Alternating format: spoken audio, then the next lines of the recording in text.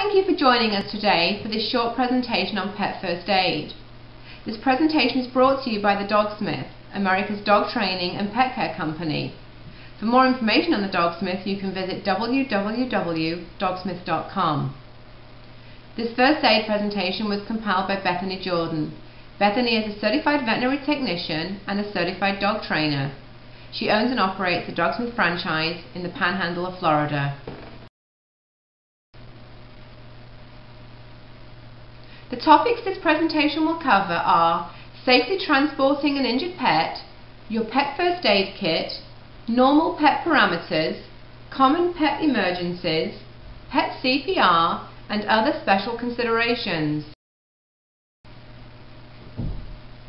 The first topic we wanted to cover is how to safely handle and transport your pet during an emergency.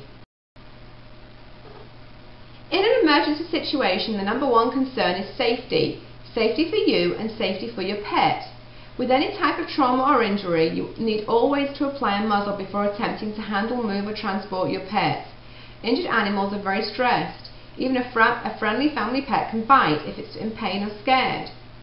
If you do not have a muzzle, you can easily make one from bandage gauze, a leash or other rope material.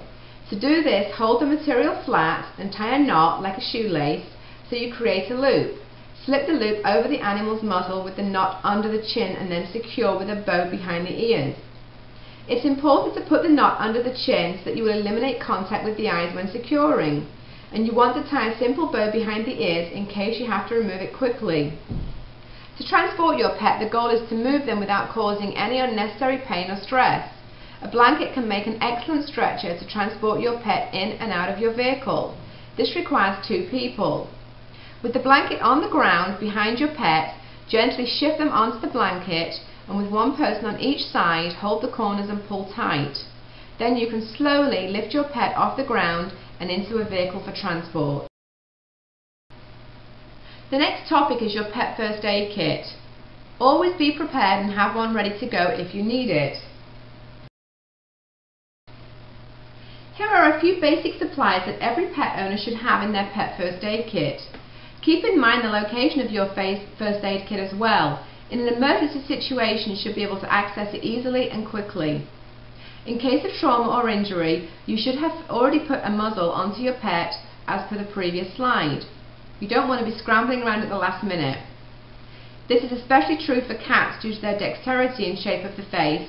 There is no effective way to make a secure makeshift muzzle.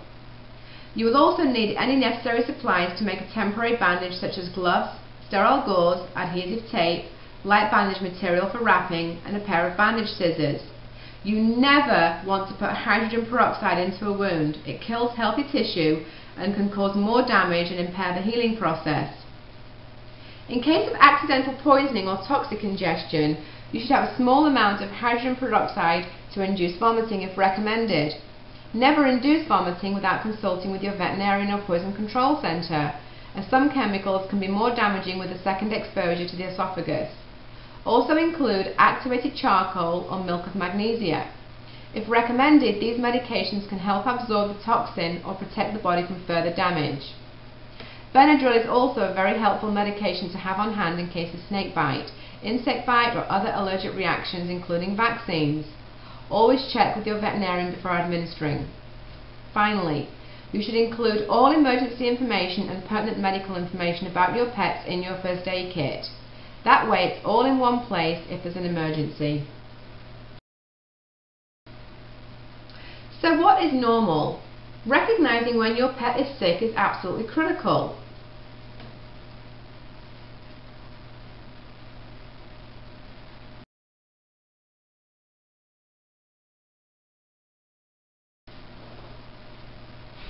common question from pet owners is, well, how do I know if there's a problem?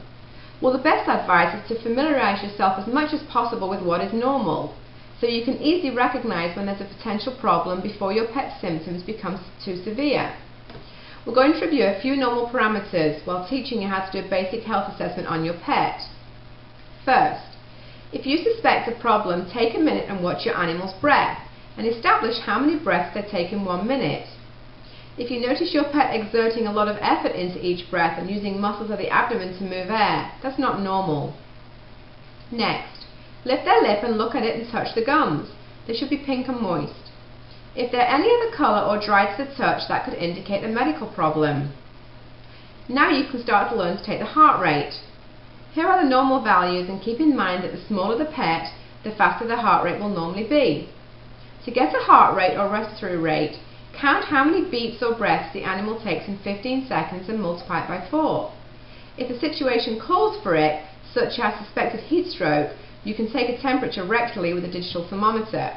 A glass thermometer is not recommended. Now that you know the normal pet parameters, practice doing an assessment on your pets while they're healthy.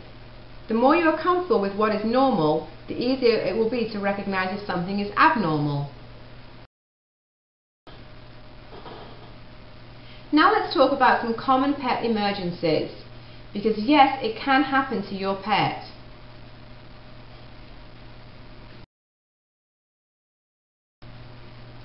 Now we're going to talk about a few emergency situations that may occur with your pet.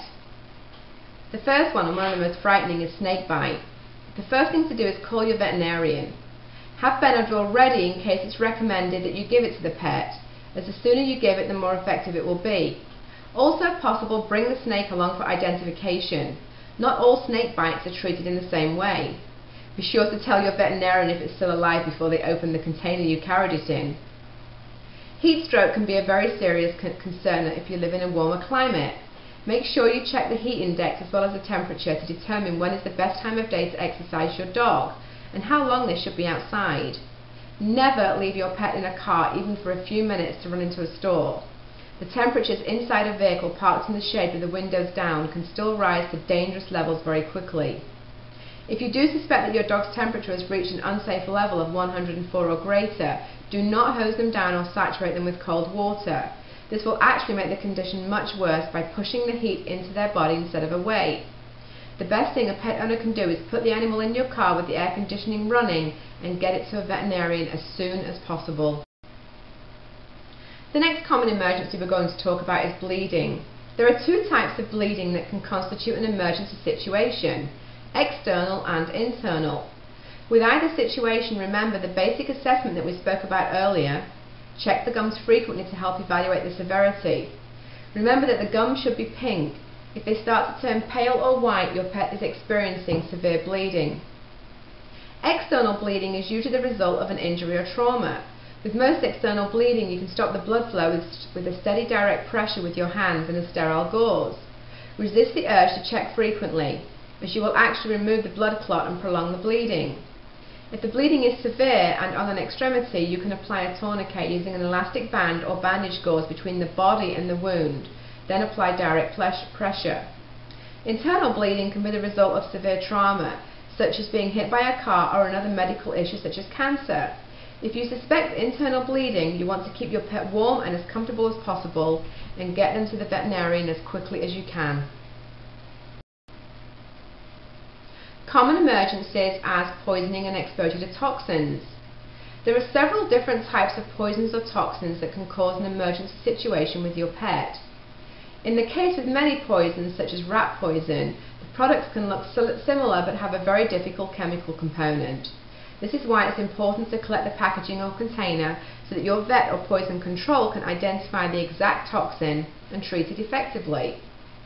If you suspect that your pet has ingested a toxin or poison, consult with your vet or poison control before administering any type of treatment. Different poisons are treated very differently. Make sure you have your first aid kit ready in case it's recommended to induce vomiting with hydrogen peroxide or administer activated charcoal or milk of magnesia. In case of topical toxin exposure, such as inappropriate flea product application, you can wash your pet thoroughly with a dish soap before calling, but do not administer any medications. Pet CPR. You have the ability to save your pet's life. This is an important skill and you should be familiar with it.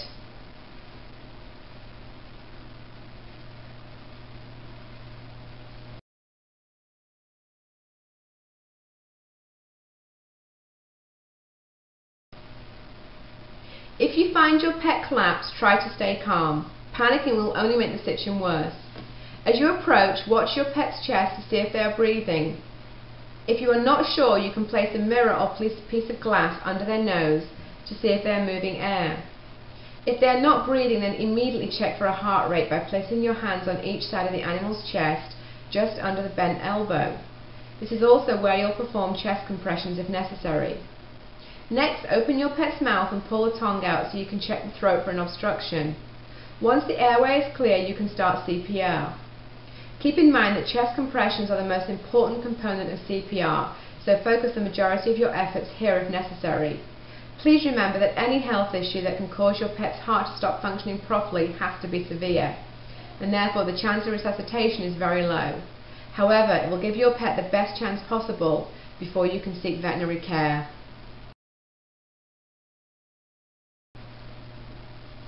Now for a few special considerations. Know when you need to seek medical advice.